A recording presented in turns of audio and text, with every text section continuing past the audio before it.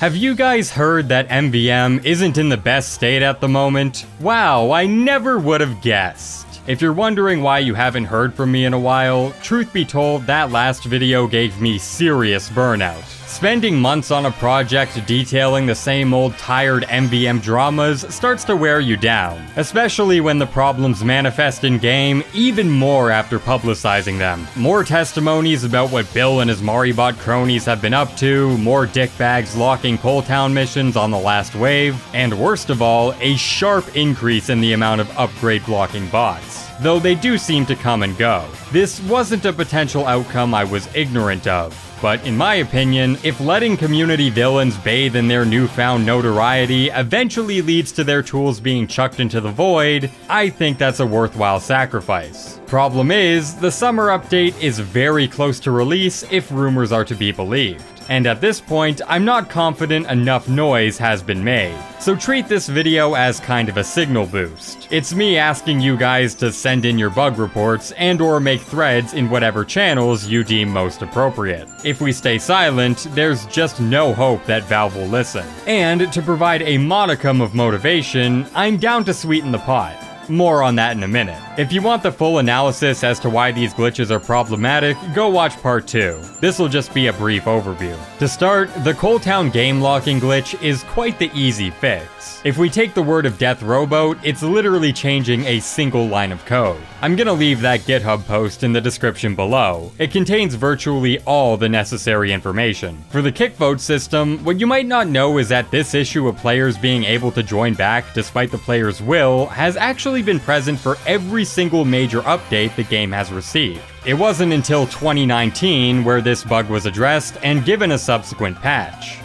In casual, Mann vs. Machine didn't get the same treatment, so the flawed, antiquated vote kick properties used originally are the ones we're stuck with today. Given the amount of toxicity the game mode is known for, even back then, if anything, Mann vs. Machine needed it first. The futility of vote kicks is responsible for almost all of the interpersonal drama that sparks among the player base. If you were simply able to vote out the troublemaker, all would go well. Whatever Valve did to fix the issue in casual, I'd say move it over to Mann versus Machine. The best deterrent for bad behavior are in-game consequences, and currently, they just don't exist. If my comment section is anything to go by, Maribot's been on the prowl, and Schwabble, the TacoBot member who aided Gentleman in his griefing efforts, actually received a golden frying pan a few days after the video went live. So if you had any theories regarding regarding some kind of underground karma system pertaining to loot drops, well, I got bad news for you. And as for the upgrade prevention bots, this one has actually had quite the news cycle over the last month.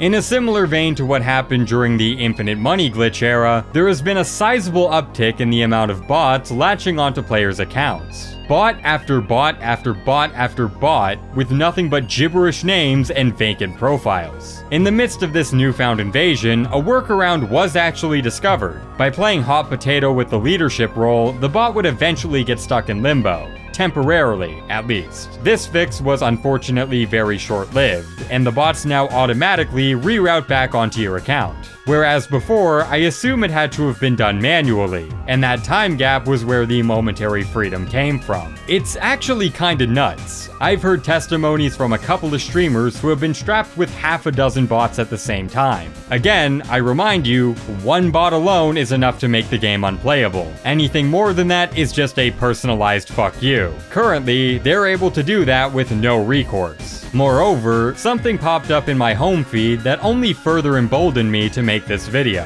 Jerma recently discussed ending his hibernation from playing TF2, actively desiring to play it on stream. More specifically, Mann vs. Machine. For reference, according to TwitchTracker.com, the last time Jerma streamed the game was way back in 2017, before Jungle Inferno even came out. But let's face it, we all know how this is gonna go. Three viewer streamers get hit with the bots. Charity streams get hit with the bots. All it takes is one person who feels like being a dick, and you're out of commission until they deem otherwise. Whatever Valve thought worked last time in removing the bug out of the game, it was wholly unsuccessful. But there was an attempt made, and just like the general toxicity issue plaguing the game mode, this proves it is, or at least has been, on their radar as well. A similar issue happened with the Spectator exploit a while back. The patch note stated that the glitch had been resolved, only for that to end up being completely false and only further popularized its nefarious usage. We eventually got a happy ending to that story. When patch number 2 came in three months later, the exploit was actually removed. I just hope the same thing happens for this one as well. A patch has been provided on GitHub, which, while it doesn't fix the bots being able to latch onto your account, does make it so that the upgrade station doesn't close upon sending false invites. Link in the description for this one as well. I also previously talked a bit about Pyro's air blast mechanics being out of whack, and while I do still support reverting them to the pre-Jungle Inferno standard, it's small potatoes compared to the other three bugs. If wasting resources on this one means the other glitches might not get I'd opt to leave it out. Look, I know by talking about this on a public platform, I'm giving the exploiters exactly what they want. Attention. But that is the exact same variable that leads to glitches landing on the butcher's block in the first place. Attention, Mann vs. Machine is the one mode in the game where bots are a conduit for fun instead of frustration. And for my own experience, as well as yours, let's hope it stays that way. I don't want to do this anymore. I don't want to keep banging the same drum over and over and over again. I still have dozens of ideas left in the tank for MVM content. You know how many are about drama? None.